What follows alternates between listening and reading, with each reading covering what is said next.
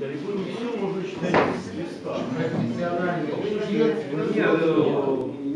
вот как раз, вот как раз наоборот, без профессии. Я могу сказать, какой эксперимент я про- провел над своей учительницей литературы и русского языка в Авдике, любимой лите- учи- учительницы Тарковского и Сакурова. Когда э, я на занятии читал стихи в маленькой, книжечкой, вот, а она спросила, Андрюша, а что вы читаете? Говорю, а я ехидно взял и ей, ей стал читать. Я слышал ее имя, я знал повторение. Я причем бу- бу- бубнил просто вот так вот, тупо. Я бросил ко- костер, все, чего было не жаль. И та, та, та, вот, ну, кто помоложе, наверное, узнали. Вот, она такая, она сделала стойку, как вот такая. Андрюша, что это? Это какой-то неизвестный поэт